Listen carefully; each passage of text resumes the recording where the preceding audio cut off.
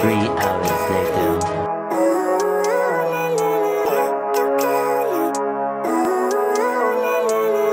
Living life, every day, late at night, not okay